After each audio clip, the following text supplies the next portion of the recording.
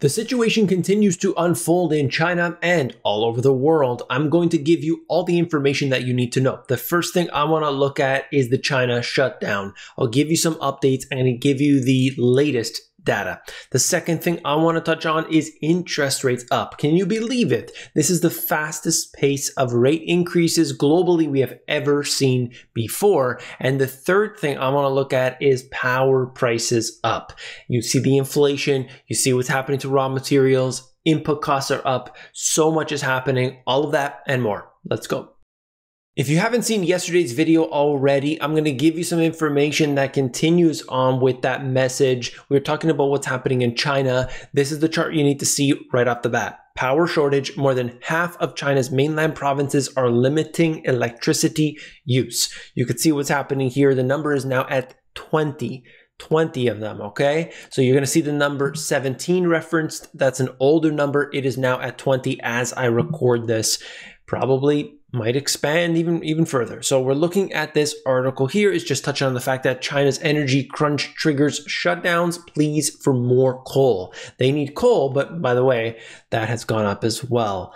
You're seeing what's happening here, the fears that the power cuts will hit traffic lights, 3G networks, factories, and so on. It has already hit different companies, and this is never going to be something that could be resolved overnight. It's going to take some time, and in between the time of uh, resolution and now, it is certainly going to cause some major disruptions. Okay, the Chinese province here, a major stainless steel and ceramics making hub with an economy bigger than Malaysia and Singapore combined, is the latest region to face electricity cuts, bringing the total number of affected areas to at least 20. So they're rationing power. I've seen the comments saying, this is just something that happens all the time. No worries. This is just, you know, it's just fear. Don't worry about it. It's all good. There hasn't been too many instances like this before, and I believe that we aren't in the worst of it. Will it be resolved? Most likely, but it's not something that's going to happen overnight, like I said. Now, why is this happening? There are different reasons, different explanations for it. We'll cover some, but off the screen over here, I have this article that's basically highlighting what Elon Musk said, and many others have said this as well. Essentially, that there was a lot of consumption with the mining of Bitcoin, and so that really was the kind of final nail in the coffin for China to say it is banned, all the mining is banned, we're going to ban everything to do with it. But there's a alternate, of course, uh, reason for that because, as he mentions, they don't want what Bitcoin stands for, and that is less government control. Obviously, they're going in a different direction with that. Chinese cities are in the dark after widespread unexpected blackout. So you remember when this information originally came out and I brought it to you, the, there were comments all over and, and even articles being written about how these are planned blackouts. Yes, some of it is planned.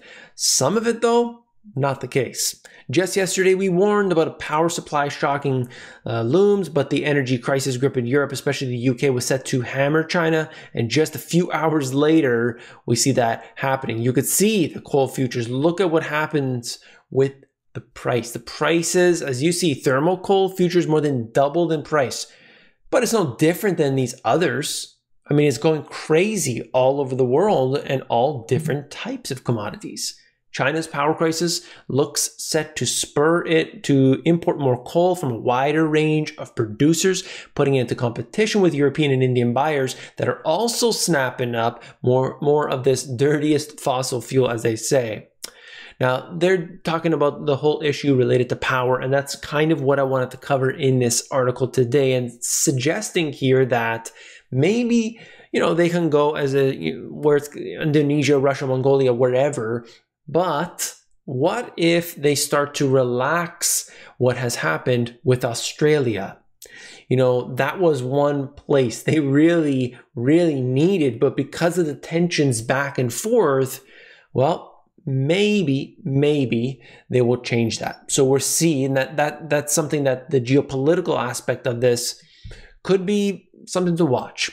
The local government of the northeastern province said that coal miners must produce at full capacity while financial institutions will offer the reduced interest loans to power plants in order to ensure supplies of the fuel for power and heating this winter. So they are pushing forward here, you know, having their hand in basically everything. The government wants to ensure stability, of course. They want more control and they are going for something here. I think there's more than one factor, of course. Okay, they're talking about the fertilizer market as well. As I've talked about before, remember, whenever we're talking about food, whenever we're talking about, as they say here, the feedstock, livestock, everything, you've got to remember fertilizer plays a role in that as an investor. Remember that, okay? China asking state backed firms to pick up Evergrande's assets. Yes, that's right. you know that garbage that they don't know what to do with? Buy it up. You want to you want to look good in our books? Buy it up. Evergrande to sell $1.5 billion stake in Chinese bank as it faces another bond interest payment. They can't pay their bills. They got to sell the assets. As I have said numerous occasions, when a company goes bankrupt, they have assets that have value. They sell those off. Bankrupt companies don't disappear off the face of the earth, right? All their pieces at least don't disappear off the face of the earth. They're sold off. They are might be at a discount certainly, but it doesn't just disappear. Employees may still be around. Okay, that's, that's something that we need to understand. And anyway, what we're seeing here with Evergrande is still unfolding. I'm going to bring you the details, but let's talk about this more in the Money GPS Insights. China's crisis intensifies as prices increase, and you have so many things converging all at once right now. The crackdowns that are happening in China are worrying investors, and you see the stock markets going down as a result of this, China's stock markets are way off their highs. Investors, no matter where you are globally, you must be prepared for more volatility. I told you a few minutes ago that this was the fastest pace of rate increases in history, and you're seeing it right here. Can you believe it? We have not seen this happen before. How could it be? How could it be when the Federal Reserve is at 0% that has said they're not going to increase? Well, on a global scale, we are seeing this. I already told you how there was at least 25, I don't know if they mentioned it right there, but 25 different rate increases that have happened in 2021 by my count. So I'm sure there's much more than that. Number of global central bank hikes and cuts in our sample and hikes minus cuts on the right, both on rolling 12 month basis. So you're looking at that. Hard to get that number anyway, is what I'm trying to say, but um, it looks like about 50 or so actually. So I'm way off of that. If they mention it right here, 50. So regardless, the, the point here is that what we're seeing is a pace at which we've never seen before at a time in which we're being told that interest rates are super low. Yes, they are historically, but that's why they can accelerate at such a fast pace. And that is going to impact the global markets. They're trying to, of course, calm down inflation. That's the point. Fed Chair Powell to warn Congress that inflation pressures could last longer than expected. That's right. Thank you, Powell, for saying that, but I'm sure you want to keep everything going, going, gone. Senator Warren calls Fed Chair Powell a dangerous man, says that she will oppose his renomination. That's right, when you get rid of Powell and you replace him with somebody else, oh, that's going to fix it all right. The two people that just resigned, uh, Kaplan, Rosengren, were the more hawkish of the Fed. So now you have even more stimulus potentially, assuming that their votes are actually real. And as a result of this, it's just more of the same, okay? More of the same or worse. I give credit for Warren at least standing up for you know what you know her principles or whatever. Uh, I, I watched some of this you know the whole you know in front of Congress, and it was just unbelievable. Oh, oh, thank you, Mr. Powell. Thank you, Chair Powell. You've done such a great job. Thank you so much. I, there was one person, she spoke for that like the five minute period or whatever, and four minutes of it was just was just was just. Oh, horrible, at least be critical. At least say, what are you going to do? What are you going to make happen? Don't just sit there and say, oh, thank you, sobbing, loving this institution that should be abolished. Big tech companies amass property holdings uh, during the last year and a half. Google, Amazon, Facebook acquire offices and retail space, helping prop up commercial real estate markets. That is absolutely true. They can't buy it all, but they've got the deep, deep pockets and they are getting real estate for the cheap right now. Retailers warn supply chain delays could wreak havoc on Bay Area holiday shopping season. This is something about, you know, what I was showing you with the UK that, you know, Christmas might be canceled this year. And they're talking about the products, of course, that people need to get. And there's actually one other I think I have in just a moment here.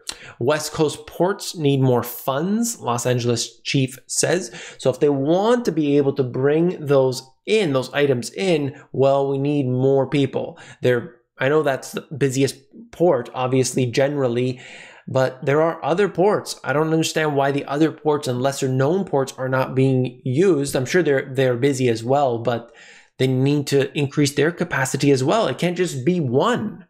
Millions of Britons could face national shortage of turkeys this Christmas.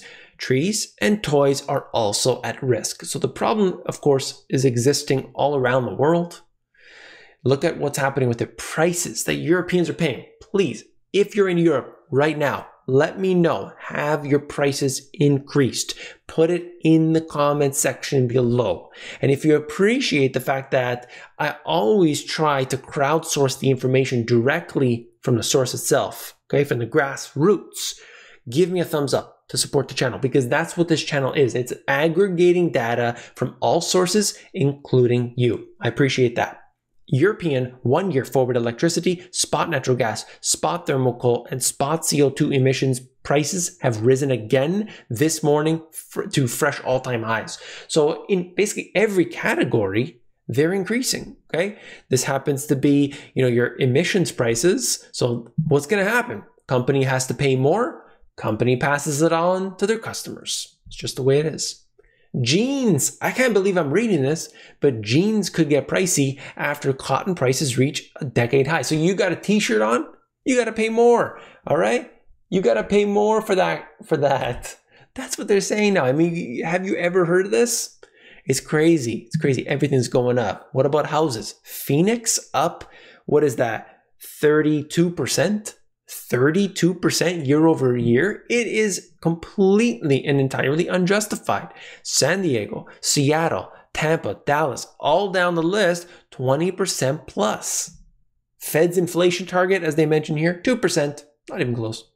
Housing market risk jumps to a high in Canadian government rating. Nobody cares because the prices continue to escalate in Canada. I can tell you that right now, in the major cities especially. But hey, I shouldn't even say that because actually the smaller cities saw an extreme rise and, and still are seeing that. Bank of Canada to let inflation run hot. Oh, that's right. They are doing the exact same thing as the Federal Reserve. And why? Oh, because um, we're going to just make sure that everything's a okay before we increase rates and stop printing money. And the, the difference here is that Canada has reduced their money printing Okay, that's one factor. But understand, as they mention in the article here, that the longer you let it go for, the faster you need to increase rates. And that has a dramatic negative effect on the economy. If you do it too fast, which they will have to, and it happens every single time, that they will crush the economy as a result and the markets too. All right. If you want to join the insiders, it's easy, it's free. That's my way of getting to you directly. Five days a week, I'll email you and you can sign up right here for free. It is uh, at this card or at themoneygps.com. And once again, support the channel by clicking that like button. Thank you very much. If you haven't seen this video I did about China, it's absolutely blowing up. You got to check it out. Click it and I'll see you there.